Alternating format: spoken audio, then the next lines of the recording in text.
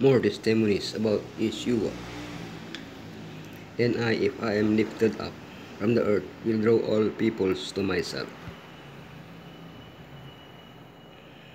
There are many testimonies that John collects about Yeshua. Among them, the one that stands out is that of John the Baptist, who spoke repeatedly about Yeshua and his work. He also emphasized the one who had commissioned him and indoctrinated him about Yeshua's mission. Those who heard Yeshua also gave testimonies about him. Some rejected him and others accepted him. But without a doubt, the greatest testimony comes from the Father, whose audible voice spoke about his beloved Son. The testimony of John the Baptist, the humility of the witness, the origin of the testimony, the testimony of the crowd. This is a hard teaching. No man ever spoke like this man. The testimony of the Father, testimony of John the Baptist. The bride belongs to the bridegroom. The, the friend who attends the, uh, the bridegroom waits and listens to for him and is full of joy when he hears the bridegroom's voice. That joy is mine and is now complete. The humility of the witness. He must become greater, I must become less. A dispute arose between John, John's disciples and the Jews about the purification of baptism. This, the disciples' minds, minds turned to Yeshua, who also baptized as John and whose fame was growing. John made it clear that it is God who decides the work of each one. Yeshua, He is the Christ. He is the husband. He must become greater. He is heavenly. It is above all. He speaks the words of God. He is filled with the Spirit of God. He is loved by his Father, from whom he has received everything. Whoever believes in him has eternal life. John the Baptist, he is sent before him. He is the friend of his husband. He must become less. He is earthly. He speaks earthly things. He is a witness from whom no one believes. Whoever listens to him testifies that God is true.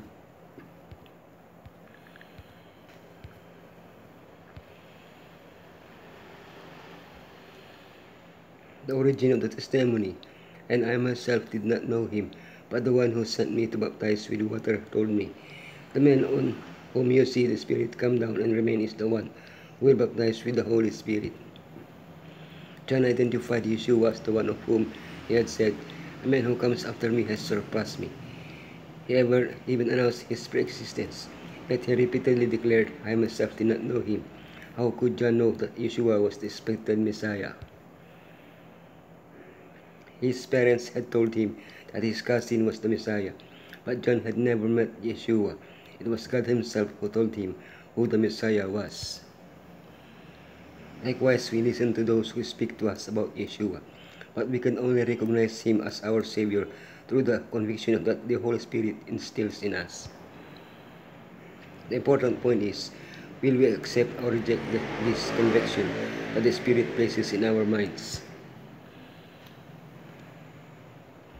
A testimony of the crowd. On hearing his words, some of the people said, Surely this man is the, the prophet, as the people were divided because of Yeshua. This is a hard teaching. On hearing it, many of his disciples said, This is a hard teaching, who can accept it? After the feeding of the 5,000, the crowd believed that Yeshua was the Messiah and wanted to make him king.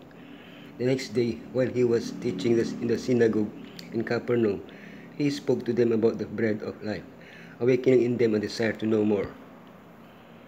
But it seems that they did not want to hear deep spiritual truths. They wanted the king to lead them in their struggle against the Romans. They closed their minds and refused to follow Yeshua or to accept him as a soul regenerating and converting Messiah. When Yeshua was forsaken, he spoke to the twelve, giving them the opportunity to leave him too, they so desired. The response reflects the, feeling, the feelings of all of us who have found in Yeshua our Redeemer, our Liberator, our personal Savior. Lord, to whom shall we go?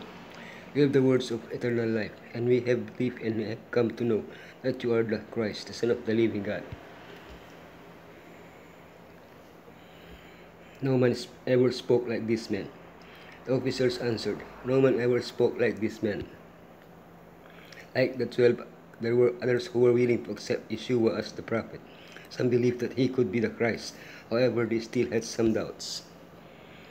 Everyone was fascinated by his words. Even those who had been sent by the Sanhedrin to arrest Yeshua were unable to carry out the orders they had received. Disappointed, the members of the Sanhedrin attacked the officers and called them ignorant. Their argument was based on the fact that they themselves had not accepted him, but they were wrong. At least one of them believed, and Nicodemus did not miss the opportunity to defend Yeshua. Again, they failed in their arguments against Nicodemus. At least one prophet had come from Galilee. In any case, their plans to arrest Yeshua were frustrated. the Father's testimony. He received honor and glory from God the Father when the voice came to him from the majestic glory, saying, This is my Son, whom I love, with him I am well pleased. and the Father who sent me has himself testified concerning me. You have never heard his voice, nor seen his, his form. Yeshua knew three things about the Father. He had given him power to perform miracles. He had sent him in the Word. He had given testimony of him. The first, the first audible testimony of the Father was the, at the baptism of Yeshua at the beginning of his ministry.